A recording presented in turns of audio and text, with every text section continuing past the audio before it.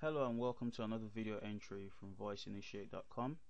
Today what we're going to be discussing is how to split calls within a call center based on their caller ID. So we want a scenario whereby we can say if caller is coming into our, calling into our call center and the caller ID of this caller has the caller ID that we would expect from a London based number, we want to be able to say this call should be diverted to this certain group of agents to deal with that call. Otherwise, if the call is from another part of um, the world or the UK, it should go to another group of users. So what we what we have before us is a script that addresses that problem. So if we just quickly go through the script, and before we go through the script, we just quickly talk about the two numbers, the two telephones we're going to be using here. So well, these these this one one one is going to be the number representing um, where the London based agents are sitting at. So 222 is for all of the calls. So if the call is not London based or is not coming from London, it should go to 222. So of course we have um, uh, well a pretend um, London number basically starts with 020 and then the very next number starts with plus 4420 depending on how the number is being presented to the call center it's always important before you write a script that is going to be looking at the caller ID that you do a historical report on your contact center to determine how the numbers are being presented to your call center. Having said that let's quickly look at the steps in the Java script so the very first step is the start step which is obviously the beginning of every script. The very next step we have under the start step is our accept step which is similar to you picking up your telephone when you receive a call. So basically the contact center has now accepted this call from the caller and the person who the contact center is accepting the call from contact center is not being picky about who's going to accept the call from because here we have it set to a triggering contact. So whatever contact triggers this script is the caller is accepted as, our caller the very next step we have here is the calling number or get call call contact info at this stage in the script we're trying to gather data or strip data off the incoming call. So let's look at the kind of data we can strip off the incoming call. We can strip the calling number, the called number, the arrival type, the last redirecting number, the original called number, the dialed number. So on, on this occasion, we're trying to strip off this call the value of the calling number and we're storing it over here. So these are the variables. So basically, there could be anything. It's a variable because we could have a million calls coming in a day, and those numbers will obviously vary. So we're going to be storing it in a container, which is a, a, variable container, and the name of this container is called calling number. So this is a part of the a part. This is going to represent a part of the, the contact center's memory, where it's going to be storing these values. So if we look here, we've con configured this variable here. If we double click this section we can see all the variables that we've configured within the script. And if we look here you can see these are the same variables we're seeing here. So we're seeing the calling number is being stored in a variable called calling number. And we can see the value of it there is empty. It's just got two question um, double question marks because um, it's a string. So and um, here we can see the type is a string. And if we click, right click and say modify you can see how it was created in the first place. It was given a type of string a type and then um, a name of calling underscore number which can basically be anything. And we just got a double um, quotation mark which is um, where the strings are stored. Um, we have to have that for us to get our strings put in for this script so that is basically it so the very next step we go to this is the part where the decision comes in and this is a, this is a, a, a code of a line of code that we've issued that we've programmed into the script and let's quickly take a look at what this line is saying. so we've got three parts that make up this code. So the very first part we're saying, we're saying the calling number, if that's what that dot means, there's a dot there, calling number dot starts with 020. We're basically saying calling number, remember this calling number is a variable. So the calls come in, we've stripped the value at this stage and we've filled it into this variable and it should then be populated here then at, at the bottom here we'll now pull that variable back into the script and we then say dot starts with that is a method so the method is we're pulling the variable its content and we're saying if the content starts with O2O and then we have this sign here which is um, or starts stands for or we'll say or the calling number starts with plus 4420 depending on how the number is presented.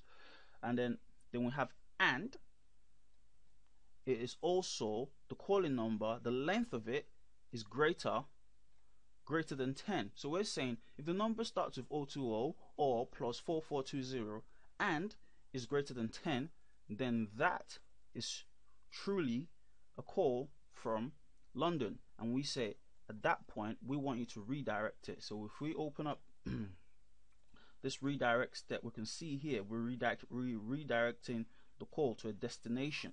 And the destination is called London agent trigger number. Now this again is a variable. If we click it we can see we can these once again are all the variables we've created here. So let's go find out what these variables mean. So if we look here we we've selected London agent's trigger number. London agent trigger number is sent to 111 as I stated on here in this phone so this is like the main number or the hunt number for the group of agents that receive calls for um, callers with a London caller ID and then this is for all of the calls. So basically further down the script if it's a London call it redirects the call to the London based agents.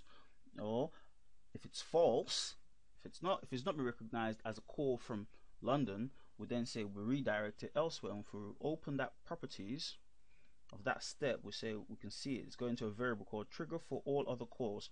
Trigger for all other calls here is a string value and it has a value of triple two so let's quickly take a look at the script in operation. Let's see if it can actually do what it says on a tin. So we'll quickly to open the script we have to actually debug it. We're basically taking a look at what taking a look at what the script is doing in the back end while the script is running live or well this in this case it's not running live. So be, I probably won't be debugging it live anyway but basically let's make a few calls. Right so the very first thing is the first type of London number starts with plus 4 4 depending on how it's presented once again. So we pick up the line and we'll dial the number for the contact center which is double one three. The call comes in activates it activates the script so we'll accept the call. So the call is now going through the start stage. By the way this is a, a, step over step so we're allowing to jump past each value within the script or each step within the script. So we're now at the get call contact info. We're not trying to gather data of that call. We're trying to figure out what is the calling number? Who is calling us? So let's allow it to do that step. So it's now gathered that call and you can see here it's managed to determine that this call is plus 4420 let's see if it makes a decision. If we go to the next stage and this is where it now starts to decide if the calling number it's truly a London based number. Let's see what it decides. It redirects the call. It redirects the call down here which is London agent trigger. So it's successfully determined that this call is actually for the London agents. So let's allow that step. Let's see what happens. You can see here it's actually calling the London agents which is 111 you see it ringing there.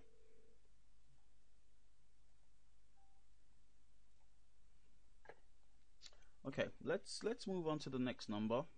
Let's let's debug that script again reactive script.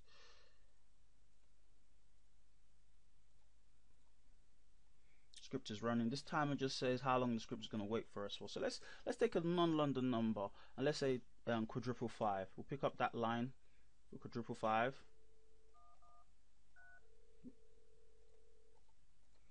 Once again we've accepted the call and we're now gathering the data. We've now determined the script has now determined that this number is from quadruple five. Let's see what it decides. Well it's then it's now decided that it's false. It's not a London um, based caller. Um, and it says non-London calls should go here. So it's now trying to redirect it to the 222 let's see if it succeeds. So you can see here 222 is ringing. Right for the final test there's one last number we've not tested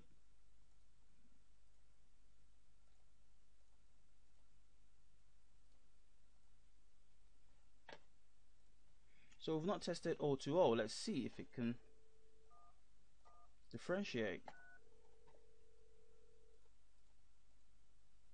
So once again, we've accepted this call and it's determined that this call is from O2O.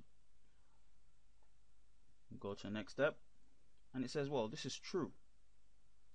Then let's see what it does. And we can see here, sorry, go to the next form. We can see here 111 is actually ringing.